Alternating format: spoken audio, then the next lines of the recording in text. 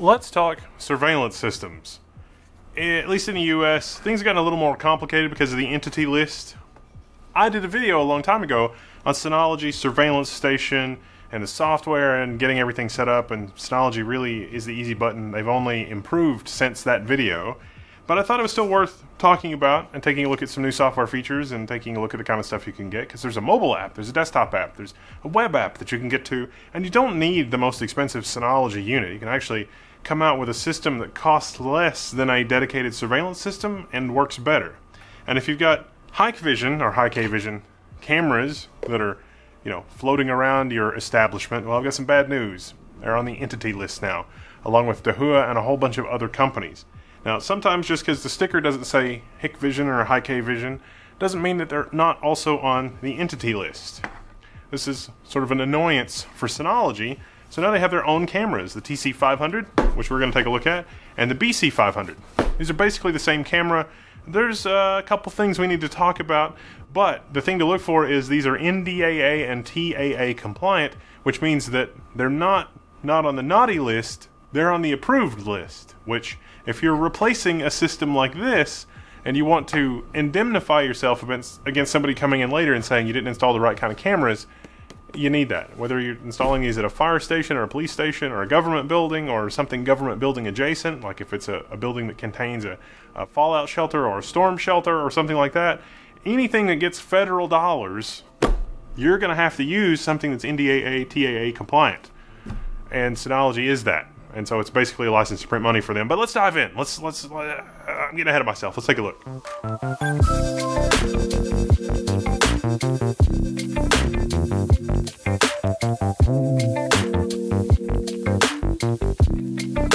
These are IP cameras, and believe it or not, this camera is actually 8 megapixels. And these cameras are only 5 megapixels, but these are actually better cameras.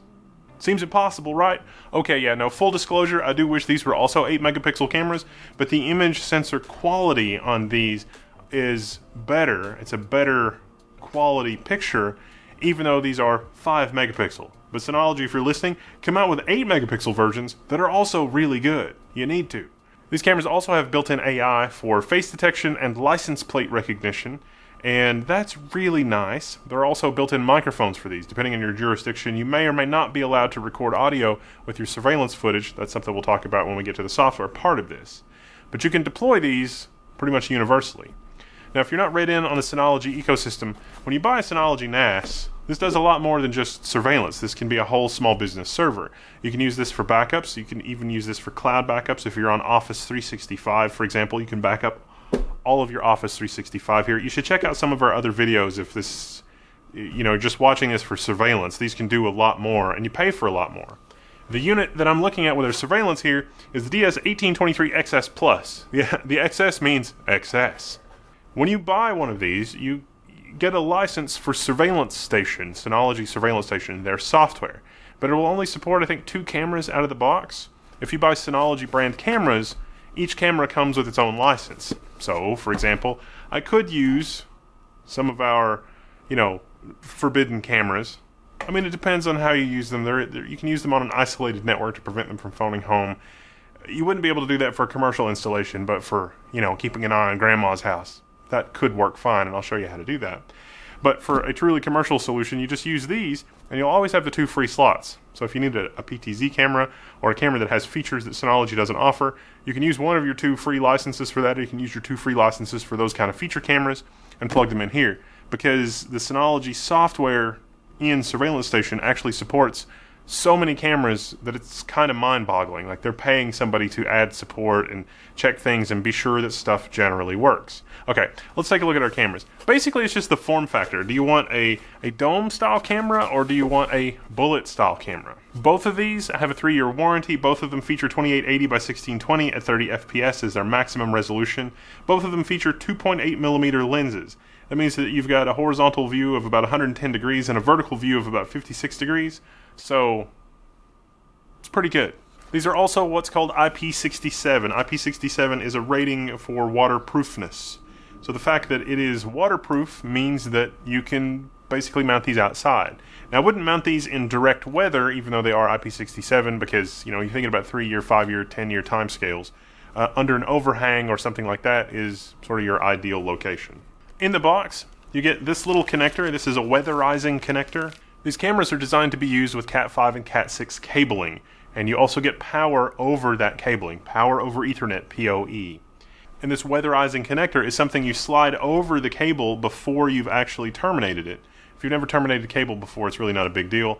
You've got this little end and a rubber grommet. You slide that on, you slide this on the cable, and then you have a locking connector that seals an RJ45 connection. These are cool because it keeps all of the, the weathering and water and stuff out of your RJ45 connection. These cameras do support an auxiliary 12 volt input.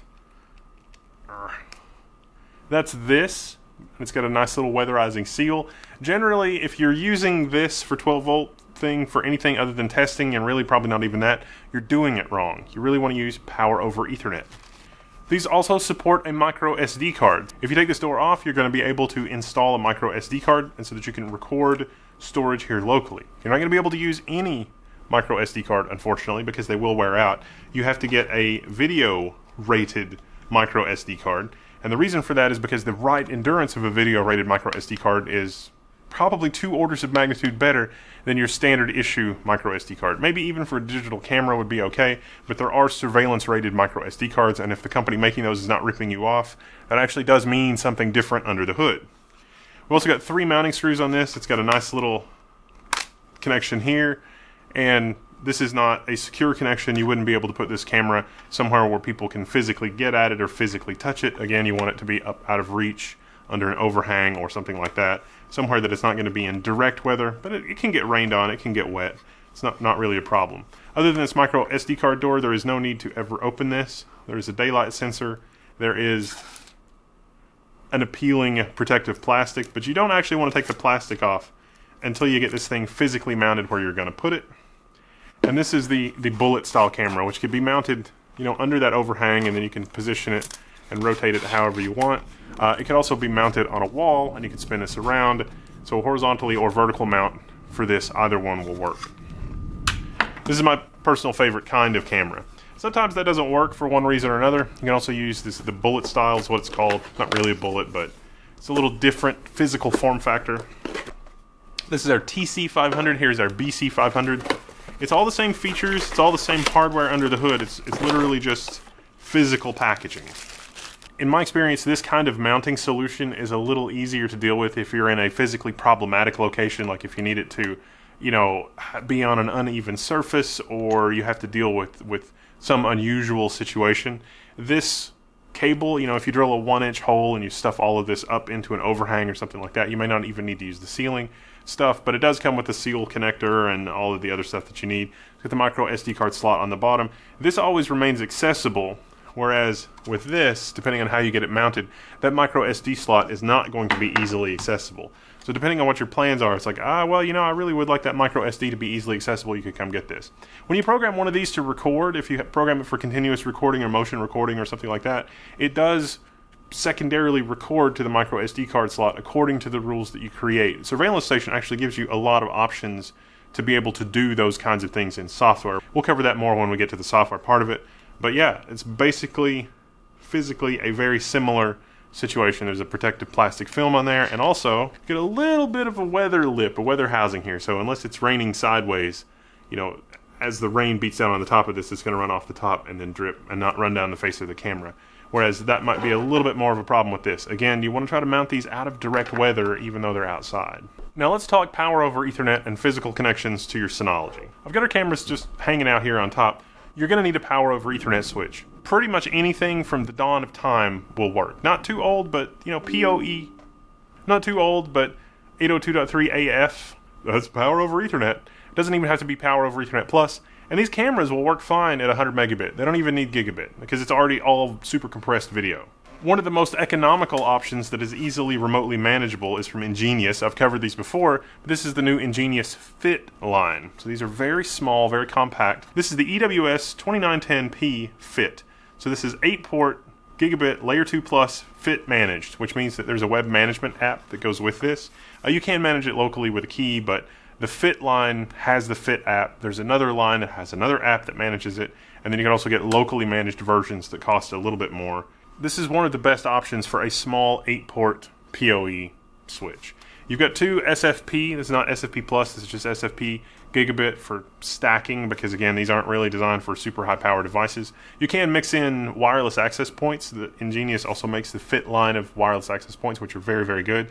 You generally don't want to use wireless cameras of any kind. Those you're asking for trouble. If you really want to talk about that, maybe we can talk about that in a separate video. Power over Ethernet. This is the lowest hanging fruit of uh, of ease of use. So we've got some connections here that are ready to go and our switch. And so I'm just going to plug this in real quick. Now I'm assuming that for security and other reasons, you want to have your cameras on a physically separate network. The Synology NASs make that really easy because almost all of them have multiple built-in network ports. This one has built-in 10 gigabit. I've added a dual 25 gigabit connection on the side, but you don't you don't even need 10 gigabit or anything. It's just for the other off-label stuff I'm doing for this. In fact, if you're just going to do surveillance, don't get this. Like one of the dual hard drive Synology NASs, one of the ones that's got a little bit better CPU horsepower, is perfect. Look for the maximum number of, of supported cameras on it and make sure that fits with what you're planning to use the system for. But generally, these don't need a lot of horsepower. Oh, and Synology actually does make like full tilt, insane surveillance systems that have a GPU in them that does real time video processing above and beyond what these cameras can do. Generally, the way that the technology is going, though, is for each individual camera to do its own processing and then just use these for storage. So these these really don't need a lot of horsepower to do video processing.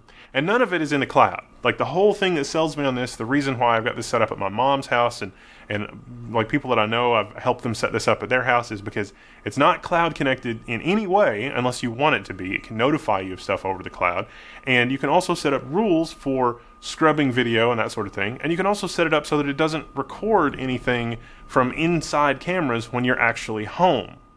So if you would like to have inside cameras, but you don't want it to have inside cameras when you're home that record, or you want to have different rules for retention, like, okay, when I'm home, I only want to keep that for a day, but when I'm away, I want to keep that for a week, or, okay, you can record the garage all the time, but not the home. You can set all those rules up in surveillance station, no problem. So I'll show you how to set this up physically wired. So all right, our PoE switch is booting up. Literally just connect this to that, and I'm going to connect this one to that one. And now you can see our camera, we got a blue light. It's blue light special, it's like Kmart. Wow, I just may ship my pants. Yeah, ship your pants. Billy, you can ship your pants too. I can't wait to ship my pants, Dad. The blue light came on for a second, and that shows us we got power, but in a second, you'll also get a link light on the switch. Now, the switch light doesn't necessarily come on immediately. It may take the camera a minute to boot up. The light on the switch doesn't necessarily indicate power. It could indicate that there's a computer there doing stuff. The power is supplied first, and then that boots up the computer in the camera, and then that gets a network link, and then the, circle of life is complete. Now, one of these cables I'm going to plug into our Synology. I'm using a low speed port on our Synology, low speed in this case being 1 gigabit, because even if I use 8 cameras on this, it is not going to come anywhere near saturating a full 1 gigabit connection. And our NAS is coming on and booting up.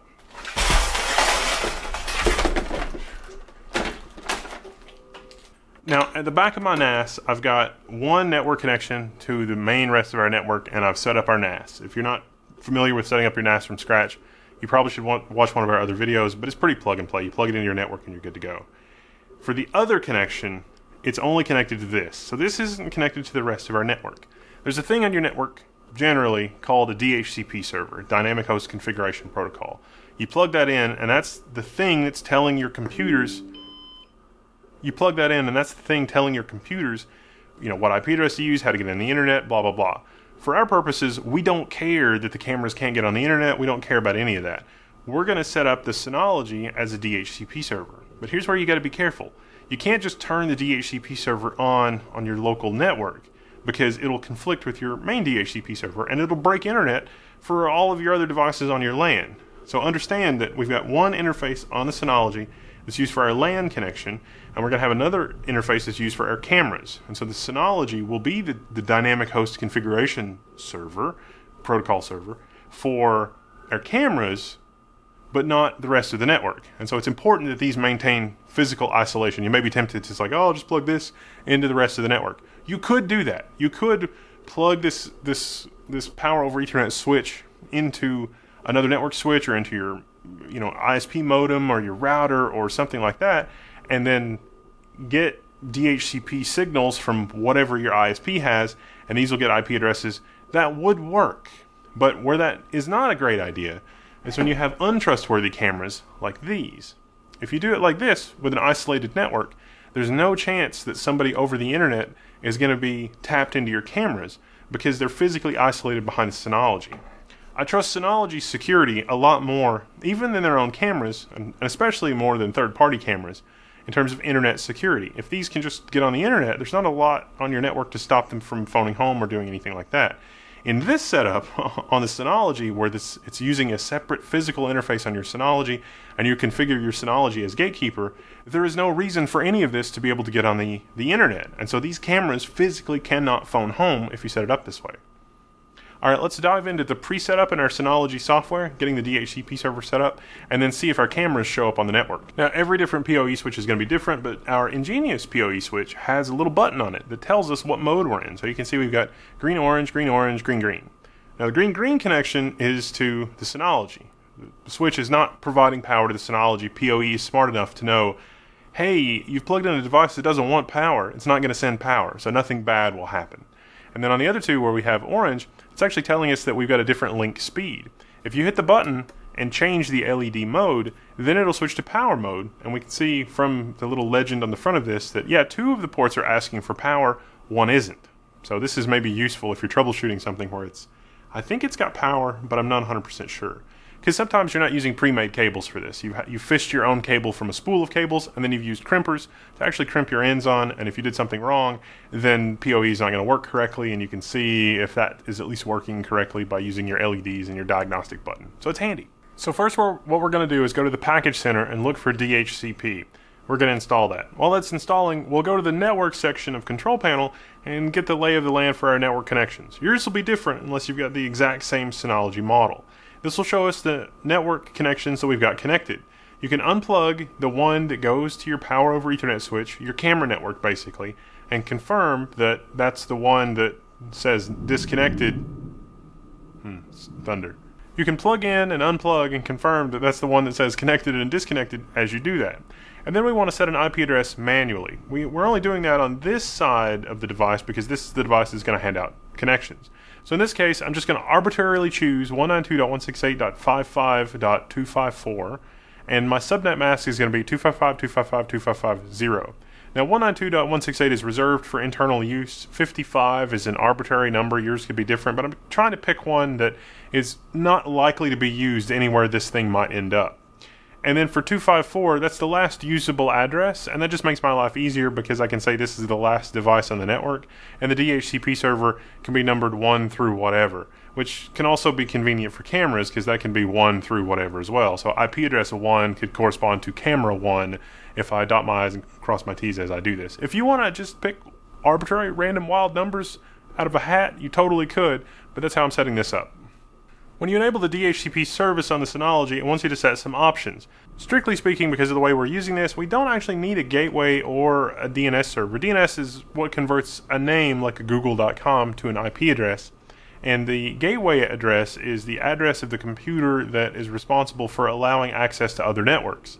In this case, we're going to specify the IP of the Synology for both of those. Synology can act as a gateway and it can act as a DNS server for the cameras, but like I say, we're not actually going to go through and set up the rest of that because our cameras don't need to get on the internet, so we don't need those options. Once you do that, you'll also notice the DHCP clients tab lights up. You can use that to keep an eye on what shows up on the network, and you can also assign static reservations. What that means is the IP won't change over time. Because if this thing loses power and everything has to reboot from scratch, and maybe it takes a few hours for the power to come back on, you're not necessarily guaranteed that all of your cameras will get the same IP address from the DHCP server when everything comes back. And that's that 3600 that I set. So when I set 3600, that's about a one hour lifetime on the DHCP, which means the cameras will check in with the uh, Synology about once an hour to say, hey, what am I, what network address should I use? And they'll negotiate and hopefully it stays the same. And it will stay the same if you set it that way in the GUI. See, there's a physical address called a MAC address, and you can find that on all of these uh, physical devices. it's not Mac like Macintosh, it's Media Access Control. And that is a globally unique number, mostly, that is serialized to the device, basically. And it tells you a lot of information about the device, the manufacturer, and then the, the individual number. So you can really use that for a lot. But in the software, you can basically tell the Synology, hey, when you see this MAC address, always give it this IP address.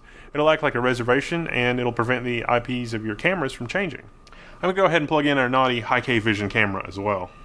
Now, sometimes these cameras, especially third party cameras, come, they're actually hard coded to a static IP address, and you have to enable DHCP if you want to use dynamic configuration, as in you plug it in and it just asks the network, what should I be? Uh, some cameras will default to 192.168.1.64, for example, and so then you would have to go through the headache of setting up a laptop or something like that to be 192.168.1.62 and then log into the camera and then configure the camera or use the camera software to configure the camera, but you can't 100% trust the camera software to configure the camera when it's, you know, we're talking about entity list cameras, playing with fire a little bit here, but ah, it's fine if you know what you're doing. All right, so immediately in our client list, we've got two cameras and the actual EnGenius fit switch itself. The fit switch, because it's web managed, wants to be on the internet so that you can manage it, but it also doesn't have to be web managed. You can just give it an IP address and log into it over the web because it's just a switch. There's not really a lot fancy going on here. So I don't even care if it's got a static IP address, but I can go ahead and hit the checkbox for the cameras, make their address static, and then it'll never change. From here, we can go ahead and set up our Synology surveillance station. Now, this doesn't set up the surveillance side of it yet. The surveillance side of it, we got to go back to Package Center and install Surveillance Station, or update it if it needs updating. Once we do that, it's going to say, hey, I need to install some other stuff. If you don't already have the other stuff that you need, you just hit OK. It'll do it all automatically. And then it's going to open in a browser tab. Now, it's important to remember there are also surveillance station applications that'll work standalone. You don't have to use the browser interface. The standalone applications work really well, both on mobile and desktop. But we'll use the web interface for now just to walk you through it. It actually comes up with a little wizard that just gives you kind of a tour of what your interface is. You should run through that and read this. It's good, useful advice. You can also connect this to Synology's cloud with C2 surveillance and get some other extra features, and it starts you out with a free trial of that. I'm not going to do that. I mean, C2 is cool and all, but I like the fact that everything runs locally and is stored locally, and what happens local stays local. It's like what happens in Vegas stays in Vegas. It's like that, but it's your camera system. Now, it's automatically detected the cameras. This is a sign that everything is working. If for some reason your cameras don't come up, you do have the IP addresses. You can feed it here 192.168.55. something in this case, but it should just come up automatically. Now notice that our that this camera is missing, the one that I've plugged in here. It's getting power and it's working, but it's not really working, and that's because we need to reset it or because it's got that different hard-coded IP address that we'll have to jump through some hoops to uh, to deal with. Now because this is actually a clone Hikvision camera, it doesn't actually have a reset button in it. Normally there's a button that you can hold down as you plug in the network cable, which will cause this device to reset. You can see that we got the little red light on on the inside of the dome which means that it does have power and it is doing stuff, but it doesn't show up on the network because it's configured for another system or software's out of date or you know whatever like that. This gives you the opportunity to name the cameras and get a little preview image. It will force you to initialize the cameras because it knows that they're new. It asks you to set a camera password and account. This is a good security practice you can write this down. This is different from your Synology admin account. You can create a cameras account, whatever you want to do, but you should save that information because you'll need it in order to reset the cameras or access the cameras directly without the Synology at some point in the future. Your uh, authentication credentials that you enter here will also be saved on the Synology so the Synology can authenticate against the camera. Because remember, each camera basically has its own computer in it. You're configuring the computer in the camera, and it's just the Synology software is making that setup step a little easier on you. And again, if you're in a hurry and you're doing a lot of these, these little quality of life improvements are really worth the price of admission here. If you opt to do the quick setup or the complete setup, you've got some codec options here. H.264 has a larger file size, but it's easier to seek and index. And let's say that you want to jump to 2:03 a.m. on a Tuesday. Even though the file is larger, it'll seek a little bit more quickly. It'll work a little bit better across a wide variety of client devices. H.265 is a more modern protocol. It uses way less space. It's generally a similar quality, but because it is so much more compressed, it's a little bit more of a struggle for devices to deal with. If you have very modern devices, H.265 is generally safe, but eh, sometimes the Synology client software, like especially on a mobile phone, if the mobile phone doesn't have full support for H.265, playback can be a little bit of an annoyance. In mid 2023, when I'm making this video, that's mostly a thing of the past, but if you start with H.265 and you have strange problems, come back into your camera configuration and pick H.264 instead, and then you'll know that that was the issue that you ran into if you have a black screen or the camera doesn't work or it doesn't seek in a uh, reasonable speed. Uh, when you're doing seeking inside the software, if you need to jump back a few days to 2 o'clock a.m. on a Tuesday or whatever, uh, H.264 should generally be able to do that in under about three seconds. H.265 on again on, on hardware that really fully supports it is going to be about the same speed, but if you have software that doesn't properly support it, you'll either get a black screen, the application won't respond, or it'll take in excess of 15 or 20 seconds. Your mileage may vary. Oh, and not every camera supports H.265. Generally, everything supports H.264. These cameras support H.264. A lot of the time in the documentation for the camera, it'll say, oh, I support H.264, H.265, H.265 Plus, H.264 Plus, and some other codecs that are listed there. Just depends on the camera that you get. If you get a little pop-up, depending on which Synology NAS you have, that you don't have the H.265 thing installed, that's available in Package Manager. It's Advanced Media Codecs. Just go there and install it. When you set up the cameras, it gives you some options. Do you want to record all the time? Do you want to record only when there's motion? Uh, generally, you do want to record all the time, even if you would like to only record when there's motion, it'll still flag when there's motion, and you can still search by that. But sometimes it's useful because it doesn't always classify things as motion, especially if there's something that's far away. Even though these are wide angle cameras, they're not meant to capture things that are happening far away. So if you set one of these on a garage or something and you're trying to get a wide angle view of your uh, you know of your driveway or something like that it's generally better if you have fewer cameras that are more close to the action. Because nothing's more frustrating than you get the camera set up and you know somebody you know turns in your driveway and leaves some old tires in your yard. It's like well i sure would like to know what their license plate is since they you know illegally dumped some tire waste in my yard. That's a thing it's going to be hard to read the license plate from that far away because it's super wide angle. Different security cameras will have different lenses on them. You can have a zoom lens and set it up. Sometimes you can get a camera where you can actually go into its web configuration and set that. And the Synology software also supports what are called pan tilt zoom cameras. So you can control a camera remotely. I'm sure Synology is working on all that for their lineup. This is really a first generation product from Synology for their cameras. But you know, again, you got some free licenses on top of the licenses that are bundled with these. So even though you can only install two cameras for free, these don't count against that. So you install these cameras and then you can get a PTZ camera. You can order something off eBay because generally that's pretty cheap. Especially this stuff, super cheap because everybody's getting rid of it. And if they can't get on the internet, nah, that's probably good enough for your home connection. Now, under the setup here, we can see we got both cameras set up. It didn't use any available licenses. This chassis, because it's the XS Plus, remember, Synology XS check out that other video. It'll support up to 128 cameras, not just 40 that we've seen in, in the past models. Depends on the model. Check your fine print for your device. Yeah, this thing can handle 128 cameras? Oh, yeah.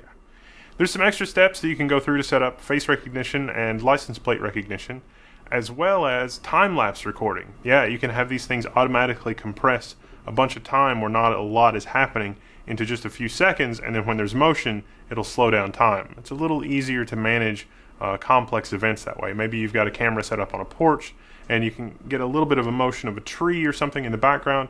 You can set up rules to say ignore this part of the frame, or treat a little bit of motion like that as no motion, or unless you fully recognize a face, don't worry about it. So you've got some options. And if you're recording everything all the time anyway, and it just doesn't flag it to look at if something sideways does happen, you still have footage to review. Whereas if you set it up not to record when it doesn't see motion or anything else like that, you, you may be stuck because you don't have any recording of that.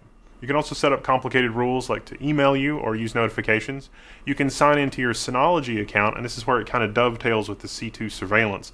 And you can set some pretty advanced rules in terms of things that you want to happen when motion is detected or license plate or face or whatever. Now, because this camera is running software all of the time, it'll detect neat things too, like tampering. When I pulled the plastic off of the camera, it knew that the camera moved a little bit and it said, hey, that was a tampering event. And it flagged it as a tam- tampering event in the log. So if you'd rather review your video logs as text rather than video, welcome to that future where we can we can do that. It said, oh, there's a face that was detected. That was me. That was my face. There it is.